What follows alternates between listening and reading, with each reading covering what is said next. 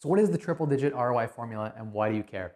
The triple digit ROI formula is something that I've kind of designed to basically prove a model in real estate where you basically can't fail. Now, triple digit ROI is what we're after, meaning 100% or greater return on investment or ROI. So the capital you invest, you want to get all that capital back and double your money.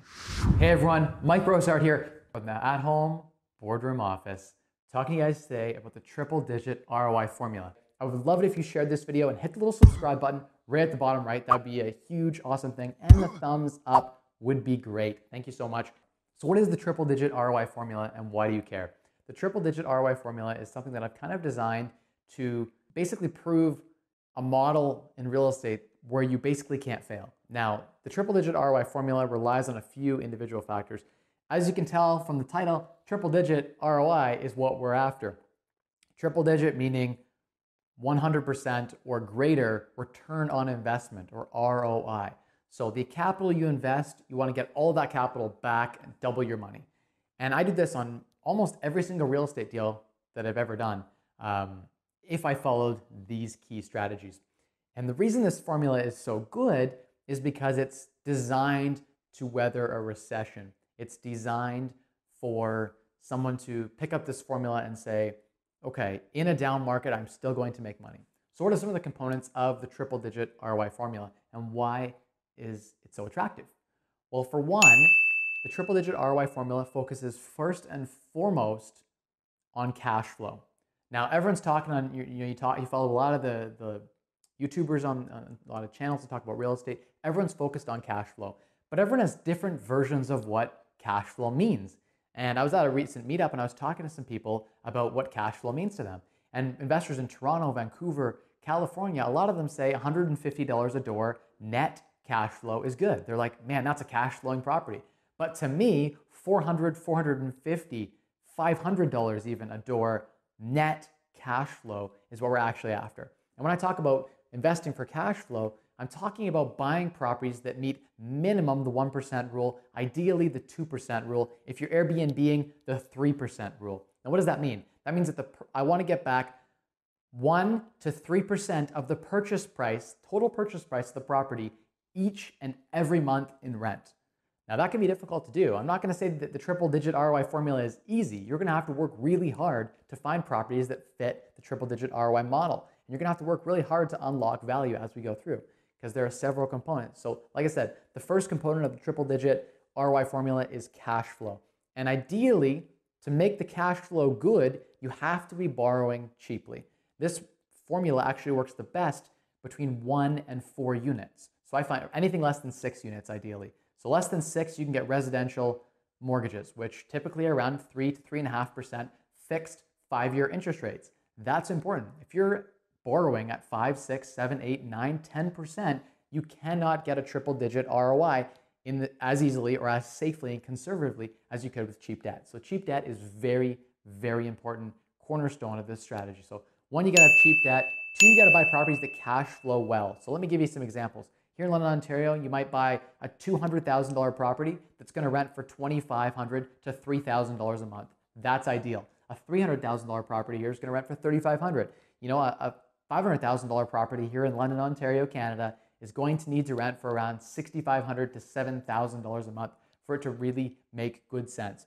Now, the, when I'm looking for a metric for cash flow, not only am I looking at a gross for the property, but I'm also looking at a net. So the reason we start at gross for based on the property size is some people are buying in cash or buying with different down payments. So if you buy it 20% down, 5% down, 25% down, 50% down, depending on the variation of basically split to bank financing to your own capital will cause different variations in the rate of return you're going to get because invested capital is the most important piece in return. So ideally, with this strategy, you're going to lever up with cheap residential debt. And it's the reason I partner with investors and I don't buy properties myself because I can't go to the banks anymore. Now that, you know, once you have a dozen properties, it's very difficult to go to the bank and say, hey, can I get a mortgage at 3% fixed? The bank's going to say, you're at your limit now. Um, you need to go into the commercial arm. You have so many doors and so many properties. We don't want to lend you residential mortgages. We want you to have commercial type mortgages, which come at a 1% premium. It's the reason that I don't agree with Grant Cardone when he talks about buying multifamily. Single family has been my bread and butter, and it performs as a percentage way better than commercial real estate. Residential cash flows, net cash flow, much, much better. Well, you've seen in my other videos why I talk about residential real estate versus commercial real estate. Just give you a quick 10 second synopsis. Um, insurance is much lower on residential properties. Um, taxes are better. There's less complex corporate structures, legal, accounting, administrative. Um, property management tends to be more expensive in multifamily. The biggest one, though, is property taxes. In my municipality, the same cost valued property, right? A $500,000 multifamily and a $500,000 residential property, both of them could theoretically rent for the same amount. They have the same rent roll. I've looked at duplexes with 12 bedrooms in them that cash flow as well as in a good area in London that cash flow as well as a 12 plex. And these properties can sell for the exact same amount, cash flow just the exact same, but net cash flow, right? after all the expenses would be significantly different because a 12 plex property has triple the property tax bill. In some cases, 12, 15,000 in annual property taxes, whereas that residential property would have a 4,000, 5,000 annual property tax bill because the mill rate, the rate for commercial property taxes is much higher in London, Ontario. And that is the case in many different municipalities and cities in Canada and the United States. So commercial real estate, not only is that, but the interest financing cost way, way higher. So a lot of downsides to commercial real estate, but the deals are big and you can still make a great spread. You can still apply this type of formula on commercial real estate. But again, I, I really advocate your first 10 deals should be residential. It's a lot easier, it's a lot safer, a lot more exit strategies, more recession proof. Number of reasons why I think this model works better with residential because the rate of return is higher. So you're looking for cash flow. You're also going to get a bit of mortgage paydown, which is fantastic. Uh, that's all built into the calculation. I look for 25% cash on cash return with typically 20 to 25% down payment. So that right there, you're getting your down payment back in three to four years. That's there's no appreciation and we didn't buy smart. But of course, this is a triple digit ROI formula. So the second piece, second most important and almost as important as the first is arbitraging. You need to be buying smart. A lot of people they get a C realtor or a B minus realtor, a really not great realtor, and it's really easy to find not great realtors.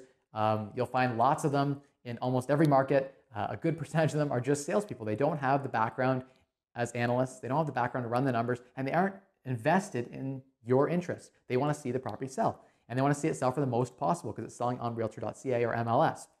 So, to arbitrage a property, what does that mean? Arbitrage means you are basically buying an underutilized asset and then realizing some sort of value, putting it back up for and unlocking that value.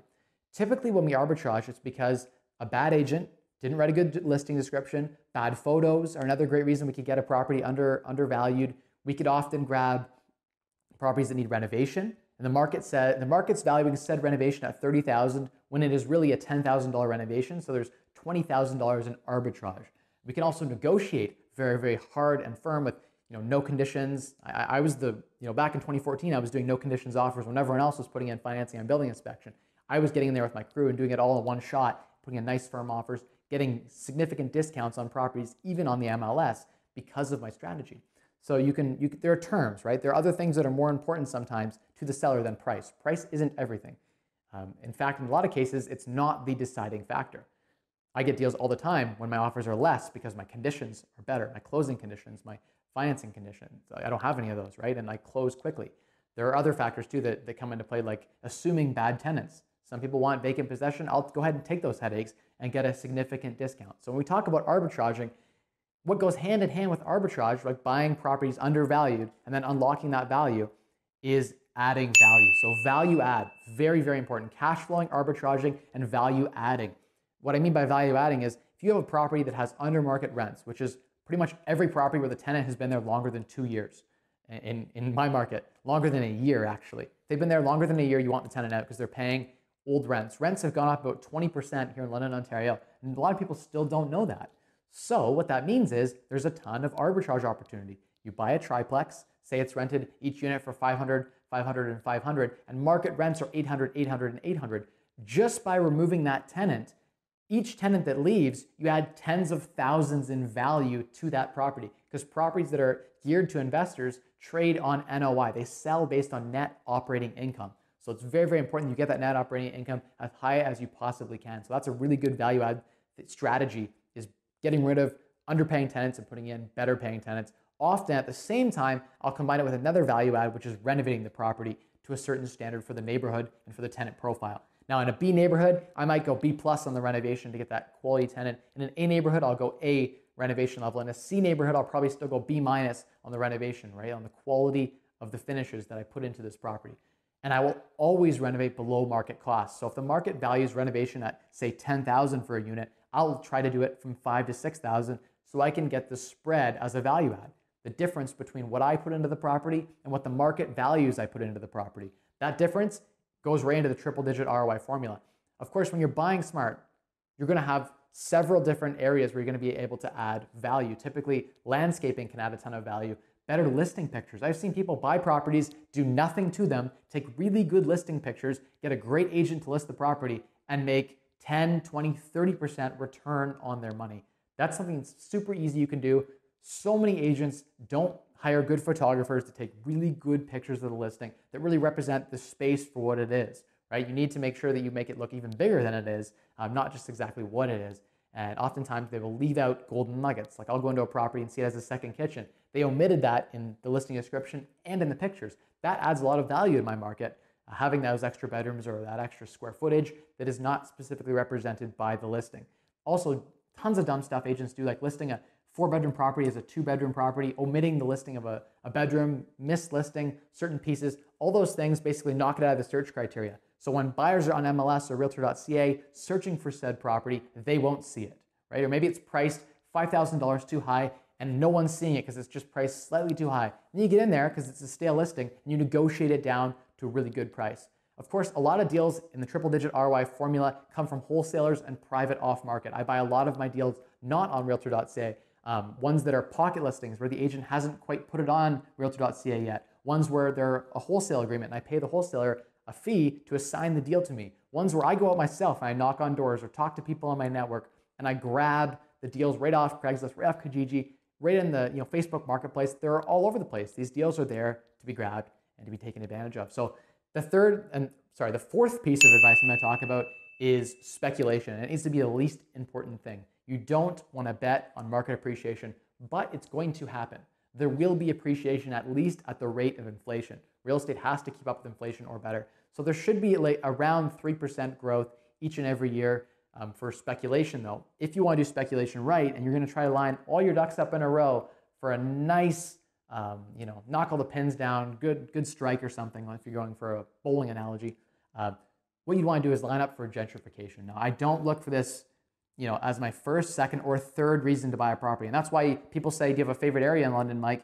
I have like six favorite areas, but I will buy anywhere in London because this model works in any market. You buy the best cash flowing properties you can find, those top 10% unicorn properties. You buy the best arbitrage value you can find, and you add value in the best way possible. So in California, renovations are much more expensive. People are spending 50, 60, 70,000 dollars on houses. If you can find a way to do that renovation for 30 or 40,000 by you know getting good material costs, getting good labor costs, and just being really, really efficient on cost control, you could add a ton of value. So even in those markets, people talk to me like, you know, how do you make money in, in New York or, or California? You know, I do agree it is harder to make good money when you can't cash flow the way you can in London, but there is still a way to get the maximum return that you can. And the triple digit ROI formula that I follow here in London, Ontario is one based, of course, on cash flow and arbitrage and value add. And then lastly, gentrification. So speculation is basically your you're gambling in a lot of ways. You're betting on the market improving. You are not in control. I mean, you could you could theoretically,